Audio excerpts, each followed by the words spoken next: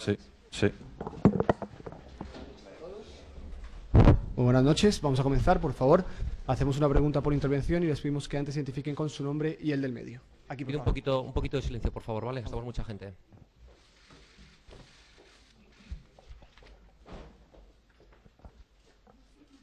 Hola, mister. Buenas noches. Jaime, Jaime Rodríguez, del Diario El Mundo. Le quería preguntar su valoración del partido, si cree que es una falta de actitud o que se ha echado mucho de menos las bajas en el equipo.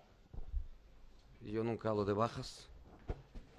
Eh, llegamos a tener jugadores lesionados un mes, dos meses y no me escucháis nunca hablar de los jugadores que, que están lesionados. Tenemos jugadores sancionados y tampoco me ves utilizar los jugadores sancionados como, como disculpa. Eh, me gustó la actitud del equipo. No tengo ninguna crítica a hacer. Ha habido gente que ha jugado un, un gran, gran, gran partido. Am, no me gusta mucho hablar de nombres, pero me parece que Albiol y Fabio merecen una palabra porque no juegan hace mucho tiempo y están lesionados tanto tiempo y regresan a un partido de gran exigencia por el fútbol directo del, del adversario y han hecho un, un muy buen partido. Mm, Y los otros, de modo general, tampoco tengo, sin querer realzar ningún nombre más, porque me parece que estos dos hay una razón para, para que los nombre. La otra gente, de un modo general, ha cumplido. Sí, aquí, Javier Saralegui de Onda Cero. ¿Qué le parece el partido que ha hecho el Real Madrid en ataque? El Real Madrid en ataque. Aquí sabemos que no es fácil de, no es fácil de crear. ah, no es fácil por el modo como juega el adversario. Eh, crear, hemos creado lo suficiente como para marcar. Hemos creado lo, sufic- lo suficiente para marcar sin, sin crear mucho y sin tener muchas oportunidades. Hola, mister Álvaro de la Rosa, Diario As. Quería saber cómo explica la afición que con solo una vuelta mañana pueda estar a 18 puntos del primero. No quiero explicar. ah, es una explicación lunga, es una explicación que empieza en primera jornada. En las primeras jornadas han pasado, han pasado cosas que, de que no quiero hablar.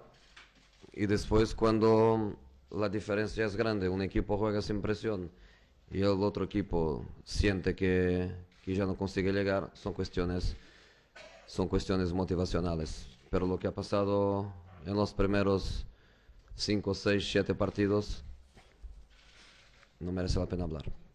Buenas noches, eh, Mr. Javier Herráez de la cadena SER, aquí a su izquierda. Aquí, aquí estoy. Quería preguntarle si Iker Casillas vuelve a gozar de su confianza para los próximos partidos. ¿Quién va a jugar en Valencia, en la Copa y en la Liga? Si Iker o Adán. Me gustó el partido de Iker contra el Celta. Ha hecho lo que tiene que hacer un, un portero, que es dar puntos a su equipo. En este caso no se trataban de puntos, pero se trataba de una, de una eliminatoria. Y ha hecho lo que tiene que hacer un portero de, de un club grande, que es, que es parar en la hora de la verdad y ayudar a su equipo a pasar. Contra Celta me ha gustado mucho.